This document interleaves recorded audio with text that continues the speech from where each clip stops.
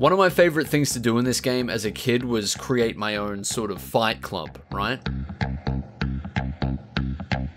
You set up a bunch of characters in a makeshift arena and see who could beat who in a fight. It's pretty simple. I basically became the Dana White of the DC universe. Batman v Superman, tragedy v tragedy. It's a uh, it's a big one.